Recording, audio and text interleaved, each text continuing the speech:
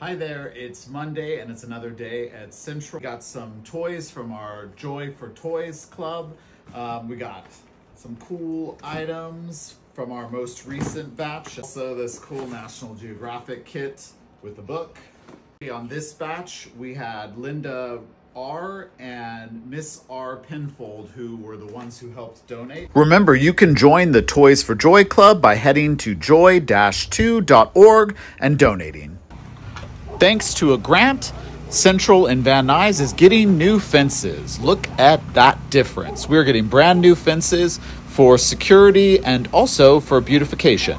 Hey, we're trying a new format for distributing to our community. When we used to bag, we're actually letting them get it straight into their carts and bags directly, and it's working really great. The line is moving so much faster. Everybody's happy with this heat to be having it move so fast.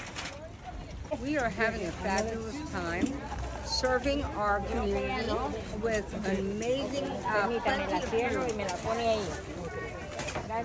food. We're doing a distribution right here for the city of Van Nuys and neighboring cities.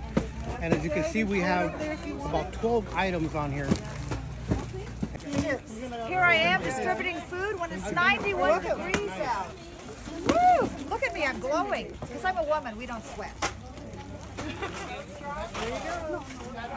Y'all, we just finished up. We got to serve 600 households today at Central Lutheran.